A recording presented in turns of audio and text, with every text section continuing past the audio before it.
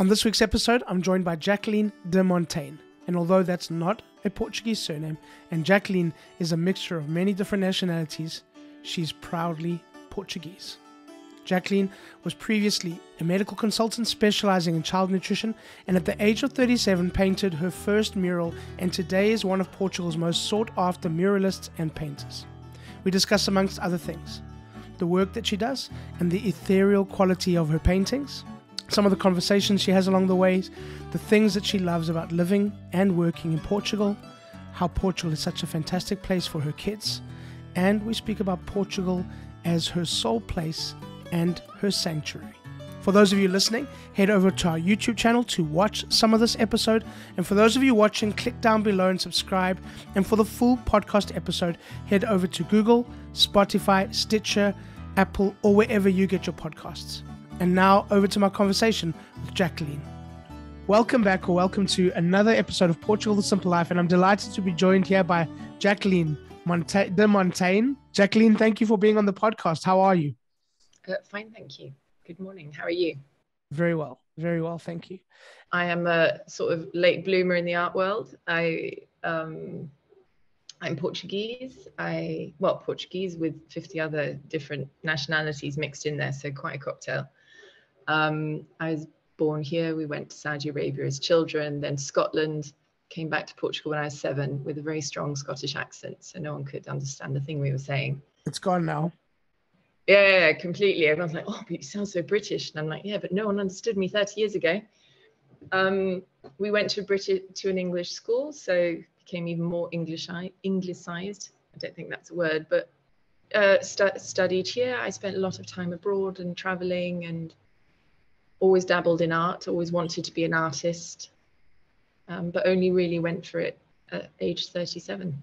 Amazing. I mean, what brought you back to it in the in after years of doing other things? Well, I, would always painted, and in my 20, uh, like 20 to 30, I painted a lot, but I, I didn't have a distinct um, identity. So it's quite hard to live off of it because essentially the value of your art comes from your identity as an artist. I, I still didn't have an identity in my 20s. And then uh, my youngest son was born premature when I was 30. So I'd always wanted to study nursing. So I went off and sort of started a foundation in nursing, ended up specializing in that and in babies with cleft palates and trisomy 21 and um, ended up being a public speaker on medical ethics went back to school did all that until i was about 37 and then um, we were going to build refugee camps in the south of Portugal, and I thought it would be great to have public mu- murals as a form of public education on the importance of breastfeeding in environments like that and safe nutrition.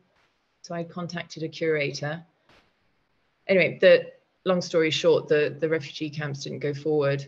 A year later, she said, Well, you paint, wouldn't you like to try a mural? And I was a bit, found the idea a bit daunting. So I said, No, not really. Um, in the end, I did have a go and I've never looked back do you remember the the moves? Do you remember that kind of change in scenery and setting for you when you came across to Portugal as a as a young girl? Well, I, re- I remember my sister was born in Saudi Arabia. Saudi Arabia. I remember that if we wanted to play outside, it had to be really early in the morning. I mean, the extreme heat. We were in a compound in the desert, and then we went to Scotland, of course, which is there's no sun there, freezing cold, wet, and miserable. Um, and we were in a very strict all girls school. Um, and then coming to Portugal, my grandparents were here and my, my family's here. So it wasn't anything particularly new, but it was okay. where we only spent holidays.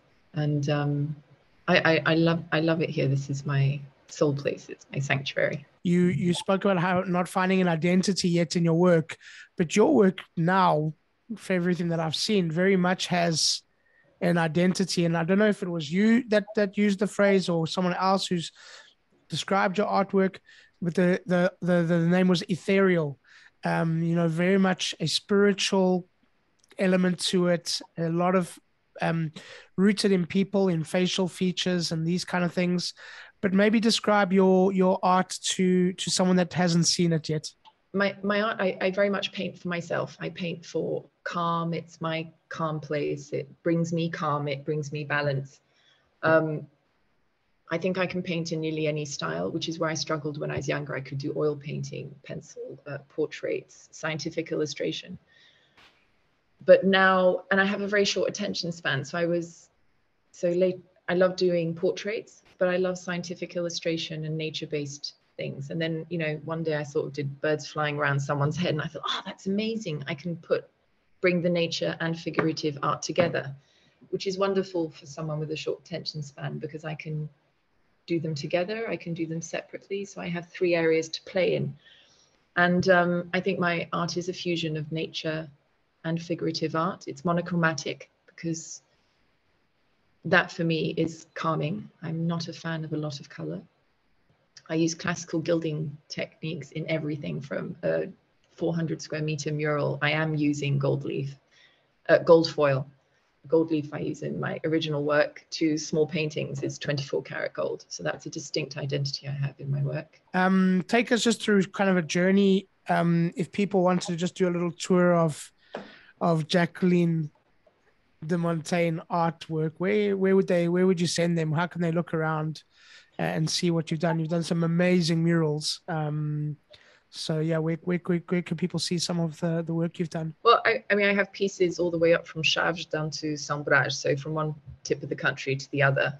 But um, a concentration of my work is is really in Lisbon. I have some very large pieces there.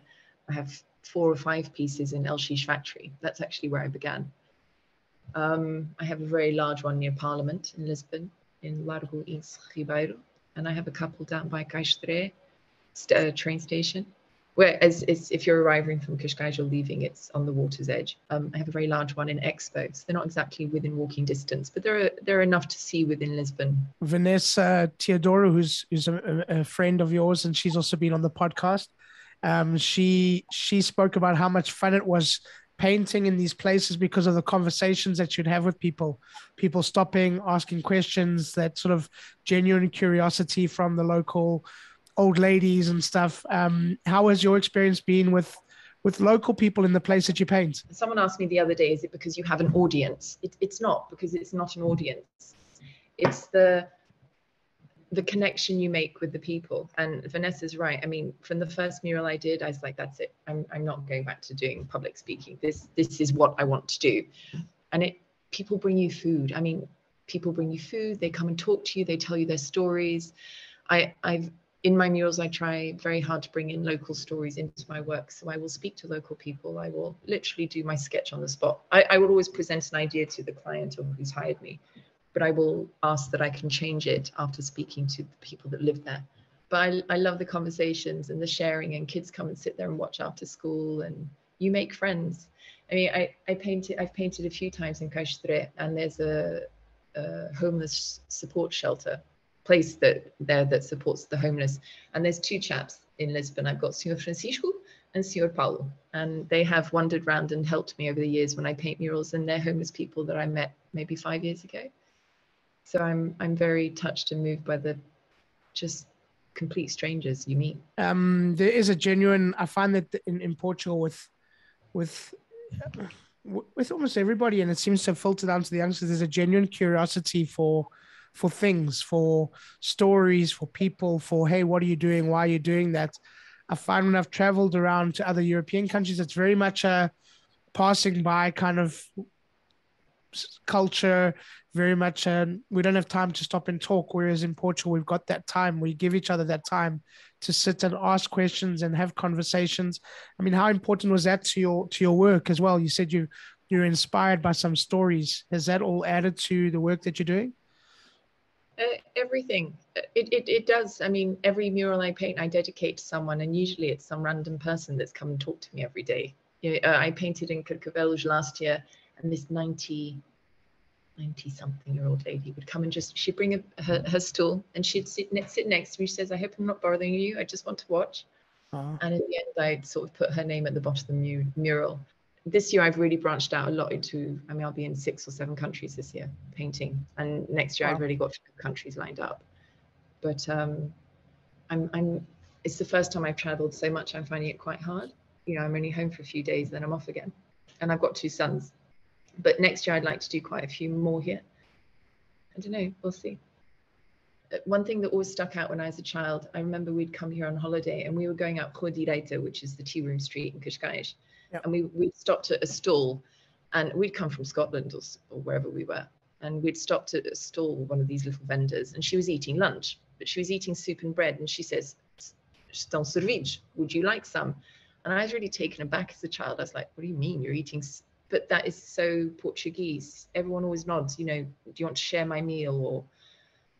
I don't know. I, I love it here. The the weather, the food, the the climate, the uh, I don't know, the sand on the beach, everything the beaches are beautiful. And bringing up children, I always thought I would travel, but I've really stuck here since I've been a mum. Yeah, that was going to actually be a question with with your work that you've done with with child nutrition, your two boys, the childhood that you had, which sounds like it was very varied and very sort of helter skelter at times, I suppose. How how wonderful is Portugal for for children? I was actually I became a mum very young. I had my first son at 20 it wasn't planned, but I embraced it, and my family were supportive from day one. And um, you know, I was working in England, and it was impossible to work with a newborn baby, so I came back here. And um, it's there is no other place I would want to bring up my children, uh, just ever. My, I mean, they both they're they're safe. They one practically lives at the stables in the Quinta de Marinha because he rides there and he's safe and happy and you know the other one's a photographer the older one he's, he's almost 23 he's a photographer. It's an amazing wow. place for them. It's safe. It's an amazing place to bring up children. We've got really good schools beautiful parks. It's it's just there is no other place i would bring up my boys because we have dual nationality but we've got basque we've got danish we've got english we've got portuguese. But i of all my cousins and brothers and sisters and stuff i i love it here I love everything. I love Lisbon. I love the busyness. I love the smell. I can even deal with the bureaucracy. It's it's a beautiful country. The people are lovely. They come with their challenges, but that just adds to the character. Thank you so much for being on the podcast. It's been a pleasure. So thank you for having me. You're very welcome, and I'm going to let you call it. This, it. It's a wrap. So thank you once again to our guest, and thank you to all of you for listening. Please subscribe, share with your friends, give us a thumbs up, and please leave a comment or a review. We always love to hear from you. Don't forget, Portugal the Simple Life also has a magazine, so download it, it's for free. We'll be back next week with a brand new episode, and as we say in Portugal, Cesar's bem-vindo. Welcome to the Simple Life.